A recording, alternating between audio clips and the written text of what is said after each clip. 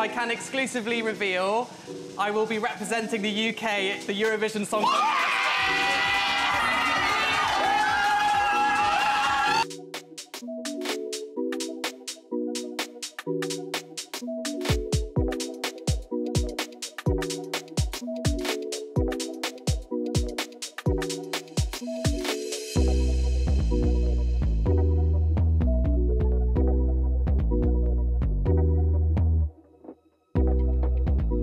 Can't believe I'm about to say this, but I am the UK entry for Eurovision.